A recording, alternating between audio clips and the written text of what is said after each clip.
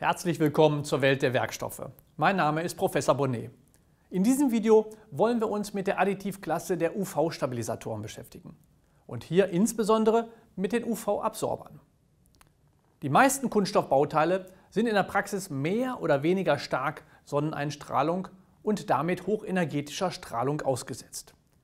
Die Spektralverteilung des Sonnenlichtes ist in dieser Grafik dargestellt. Vor allem die ultraviolette Strahlung des Sonnenlichts im Wellenlängenbereich zwischen 300 und 400 Nanometer können Kettenabbaureaktionen starten, die im Folgenden ähnlich dem thermooxidativen Abbau verlaufen, über den wir ausführlich im letzten Video gesprochen hatten. Um dieser photochemischen Schädigung der Kunststoffe entgegenzuwirken, kommen drei verschiedene Klassen von UV-Stabilisatoren zum Einsatz.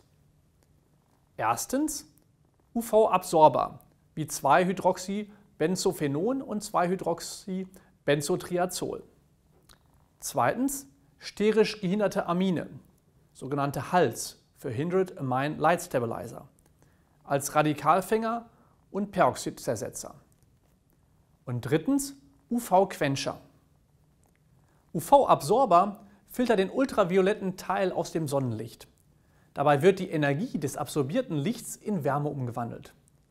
Halsstabilisatoren unterbinden ähnlich den Antioxidantien Reaktionen aggressiver Photooxidationsprodukte, also Radikale und Peroxide, sowohl an der Oberfläche als auch in den tiefer gelegenen Schichten. UV-Quencher oder man kann auch Löscher sagen, deaktivieren die Radikale und leiten die Energie letztlich in Form von Wärme ab. Auch sie wirken unabhängig von der Schichtdicke und sind somit sehr gut für Folien geeignet. Ob und wenn ja, welcher UV-Stabilisator Verwendung finden sollte, hängt vom Kunststoff, von der Anwendung und auch von der Region ab, in der der Kunststoff eingesetzt werden soll.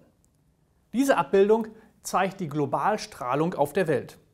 Es ist zu erkennen, dass sich die durch die Sonne eingestrahlte Energie je nach Region um Faktor 3 unterscheiden kann. Besonders kritisch sind daher Märkte wie die USA, in denen sich die Globalstrahlung innerhalb eines Landes je nach Bundesstaat bereits um einen Faktor 2 ändern kann, sodass das Kunststoffbauteil im Zweifelsfalle auf die höchste zu erwartende UV-Belastung ausgelegt sein muss.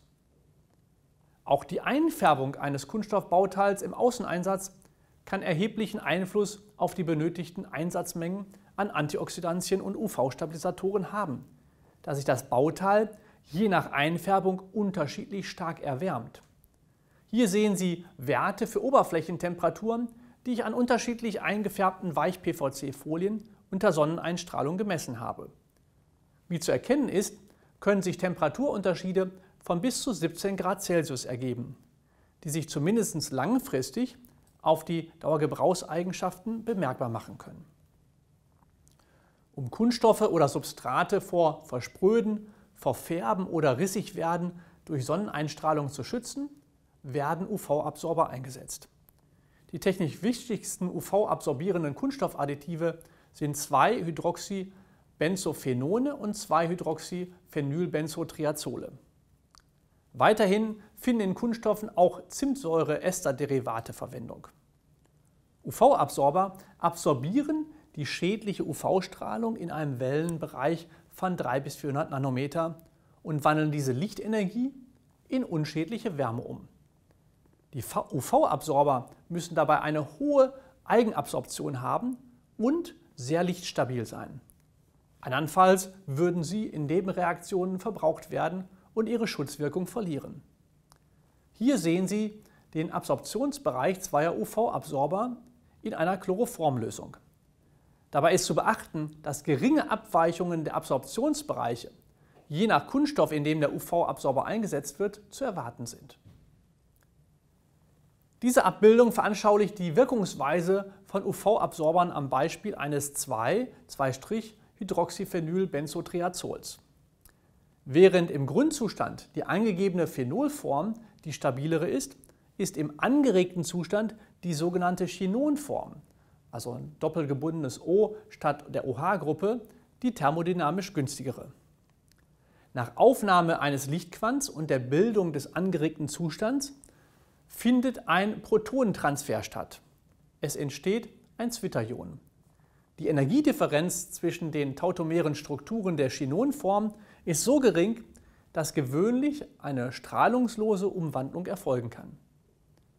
Da im Grundzustand die Phenolform die stabilere ist, findet erneut ein Protonentransfer statt, wodurch wieder das Ausgangsmolekül entsteht. So wird die hochenergetische Strahlungsenergie in Wärmeenergie umgewandelt. Der Mechanismus bei Hydroxybenzophenonen ist ein ganz ähnlicher. UV-Absorber können natürlich auch in transparenten Kunststoffen eingesetzt werden, um darunterliegenden Schichten vor UV-Strahlung zu schützen, wie zum Beispiel bei UV-Schutzlacken oder bei Lebensmittelverpackungen aus PET. Diese Grafik zeigt UV-Messungen an 0,5 mm starken PET-Folien mit 0,15% Hydroxyphenylbenzotriazol. Gut ist der filternde Effekt der UV-Strahlung im Wellenlängenbereich von 300 bis 400 Nanometer beim Einsatz geeigneter UV-Absorber zu erkennen.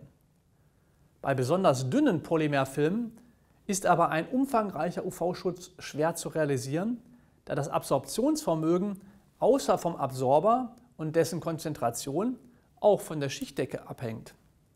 Soll also mit einem dünnen Polymerfilm der gleiche UV-Schutz realisiert werden wie mit einer dicken Kunststoffscheibe, so muss die Konzentration des Absorbers entsprechend erhöht werden. Dies geschieht am besten, wenn man die UV-Absorber durch kovalente Bindung an das Polymer koppelt. Dadurch wird gerade bei dünnen Schichten eine mögliche Diffusion des Absorbers aus dem Polymer verhindert. So kann im Falle von PMMA bei der Herstellung ein Methylmetacrylat-Derivat als Copolymer hinzugegeben werden, das UV-absorbierende Gruppen enthält. Einer der effektivsten und preisgünstigsten UV-Absorber ist nach wie vor Ruß. Ist ein Kunststoffbauteil mit Ruß schwarz eingefärbt, so werden schädliche UV-Strahlen bereits oberflächennah völlig vom Ruß absorbiert und die absorbierte Energie in Wärme umgewandelt. Das kann unter Umständen andere Probleme mit sich bringen, sei es, dass ein Aufheizen des Bauteils für den bestimmungsgemäßen Gebrauch unerwünscht ist oder dass der thermooxidative Abbau durch die erhöhte Temperatur beschleunigt wird. Natürlich absorbieren alle anderen Buntpigmente in unterschiedlicher Intensität UV-Strahlung. Bei hellen Pigmenten überwiegt aber die Lichtreflexion. So wird bei einer Weißeinfärbung mit Titandioxid das Licht völlig reflektiert, wodurch natürlich auch eine nicht zu unterschätzende UV-Schutzwirkung erzielt wird. Vielen Dank fürs Zuschauen. Seien Sie auch beim nächsten Lehrvideo wieder mit dabei, in dem es dann um die sterisch gehinderten Amine und Quencher als weitere UV-Stabilisatoren gehen wird.